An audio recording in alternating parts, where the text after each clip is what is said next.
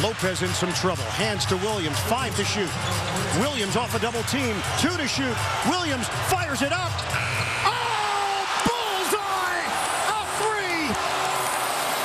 Where did that come from? Deron Williams is locked in. 102-101 Nets.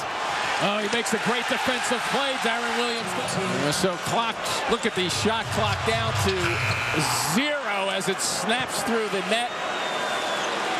And here he comes back to make a terrific play defensively. We're tied at 104. Nets looking to level the series. Williams makes his move. Williams, the fade, off the rim with 6.5 remaining.